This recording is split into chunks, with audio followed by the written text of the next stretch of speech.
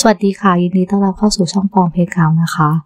หลังจากสำรวจปราสาทฮอกวอตส์กันแล้ว วันนี้เราจะมาเริ่มเล่น main quest ของ Hogwarts Legacy จริง ๆ จังๆ กันแล้วนะคะ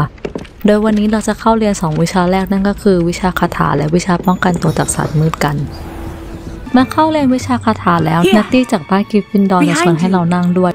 There's an open seat here. Thank you. โดยวิชานี้เราจะได้ศาสตราจารย์โลเนนเป็นผู้สอน ซึ่งคาถาแรกที่เราจะเรียนกันในวิชานี้ก็คือ a c k i o หรือคาถาเรียกของกันนะคะ เมื่อฝึกในห้องเรียนเสร็จแล้วโลเนนจะให้เราไปข้างนอกเพื่อเล่นเกม Summoner Court โดยกติกาก็คือเราต้องใช้ a c k i o เพื่อดึงลูกบอลให้มาอยู่บนกระดานซึ่งแต่ละช่องจะมีคะแนนแตกต่างกันไปนะคะ เมื่อลองฝึกครั้งแรกแล้วโลเนนจะให้เราลองแข่งกับนัตตี้ตอนนี้เรายังจับเทคนิคไม่ค่อยได้ว่าต้องปล่อยตรงไหนลูกบอลถึงจะหยุดที่ 50 แต้ม แต่อย่างน้อยเราก็เสมอกับนัตตี้ทั้งสองรอบนะคะ หลังจบคลาสเราจะมีโอกาสได้คุยกับนัตตี้และรู้ว่าเธอเองก็ย้ายมาจากแบกกาดูโรงเรียนเวทมนต์ในทวีปแอฟริกาเมื่อตอนปี4เมื่อแม่ของเธอได้รับข้อเสนอให้มาสอนวิชาพยากรณ์ศาสตร์ที่ฮอกวอตส์ดูเหมือนว่าแบกกาดูเป็นโรงเรียนเวทมนต์ขนาดใหญ่ และนักเรียนส่วนใหญ่จะไม่ใช้ไม้กายสิทธิ์เพื่อร่ายคาถาเมื่อคุยกับนัตตี้จบเธอจะบอกว่าศาสตราจารย์โลเนนอยากคุยกับเรา โรเนนชมว่าเราฝีมือใช้ได้และเก่งไม่แพ้นัตตี้แต่เขารู้สึกว่าหลังๆมานี้นัตตี้ดูไม่ค่อยมีสมาธิเท่าไหร่ นอกจากนี้เขาบอกว่าศาสตราจารย์วิสลีย์มอบหมายให้อาจารย์ในฮอกวอตส์มอบภารกิจเพิ่มเติมนอกเหนือจากตารางเรียนปกติ เพื่อให้เราเรียนตามเพื่อนทัน ซึ่งเขาจะติดต่อเรามาในภายหลัง Regarding a special assignment, จบวิชาคาถาแล้วเราจะไปเข้าเรียนวิชาป้องกันตัวจากศาสตร์มืดกันนะคะเมื่อเราไปถึงห้องเราจะเห็นเซบาสเตียนจากบ้านสลิธีรินกับลีแอนเดอร์จากบ้านกริฟฟินดอร์ดวลกันอยู่ จนกระทั่งศาสตราจารย์เฮดกัดโผล่มาและใช้เลวิโอสโปคาถายกของยกกระโหลกมังกรให้ตกลงมากลับไปที่เดิม ซึ่งวันนี้เราจะเรียนคาถานี้กันนะคะแฮกกัดจะแสดงให้เราดูว่าถ้าเรายิงหุ่นด้วยคาถาพื้นฐานก่อนจะสะท้อนคาถาออกมา ดังนั้นเราต้องใช้เลวิโอโซเพื่อยกศัตรูขึ้นศัตรูที่ไม่ตั้งตัวคือศัตรูที่อ่อนแอและเราจะสามารถใช้คาถาพื้นฐานจัดการหุ่นได้หลังจากนั้นเฮกาจะให้เราดวลแข่งกับเซบาสเตียน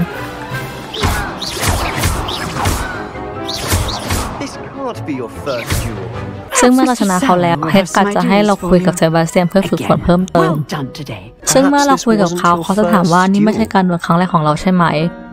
เราจะตอบอะไรก็ได้ แต่ตอนนี้ยังรู้สึกไม่ค่อยไว้ใจเซบาสเตียนเท่าไหร่แล้วก็เลยเลือกบอกว่านี่เป็นการดวลครั้งแรก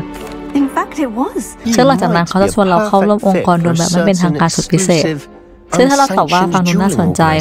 เขาจะบอกว่าถ้าเราอยากได้รับประสบการณ์ที่ฮอกวอตส์แบบเต็มๆก็ต้องแหกกฎกันบ้าง เช่น เข้าต้ององค์กรไม่เป็นทางการหรือแอบเข้าเขียนของห้ามในห้องสมุด และบอกว่าถ้าเราสนใจให้ไปหาลูแคนที่หอนาฬิกา เมื่อเรียนจบทั้งสองวิชาแล้วเราต้องไปรายงานศาสตราจารย์วิสลีย์ซึ่งเธอกำลังคุยกับเอลฟ์ชื่อดีคเกี่ยวกับห้องอะไรบางอย่าง You could help. วิสลีย์ชมว่าเรามีฝีมือและถามเกี่ยวกับการเดินทางมาฮอกวอตส์ของเราอีกครั้ง Fig taught you quite a bit. เราก็เลยเลือกไม่บอกตามเดิมนะคะ นอกจากนี้วิสลีย์ยังบอกให้เราไปฮอกส์มี้ดเพื่อซื้อของต่างๆ ได้แก่เมล็ดพันธุ์สูตรปรุงยาตำราอาคมรวมไปถึงไม้กายสิทธิ์ของตัวเองด้วย โดยเราสามารถเลือกว่าจะไปฮอกส์มี้ดกับนัตตี้หรือเซบาสเตียน ซึ่งเราคิดว่านัตตี้ดูน่าเชื่อถือกว่าก็เลยเลือกนัตตี้ไป I'd like to go with Natty. นอกจากนี้วิสลีย์จะมอบภารกิจเพิ่มเติมให้เราไปฝึกฝนก่อนไปฮอกส์มี้ดโดยโรเนนจะสอนเรปาโรหรือคาถาซ่อมแซมให้กับเรานะคะ โดยในภารกิจนี้เราต้องใช้แอคคิโอเพื่อเก็บหนังสือสองเล่ม ก่อนที่โรเนนจะสอนเรปาโรและให้เราลองซ่อมรูปปั้นดูนะคะ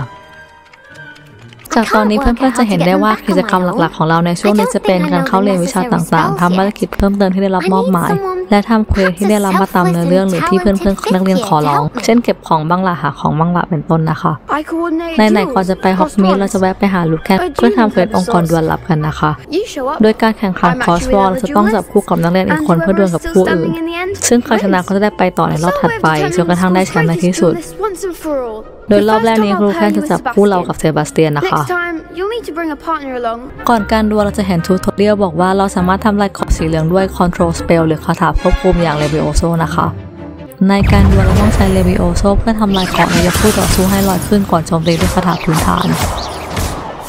ถ้าเราเห็นว่ามีคาถารอบๆตัวก็หมายความว่าเราก็จะโดนโจมตีดังนั้นอย่าลืมกลิ้งหลบคือใช้คาถาเทโก้พร้อมประตูไฟโดยอัตโนมัติร่วมด้วย